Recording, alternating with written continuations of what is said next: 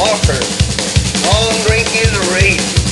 And whosoever is deceived thereby is not wise. Out in the state of Arizona, a husband and wife had reared their children. Children had married off, families of their own. The mother took to drinking. She was 64 years of age.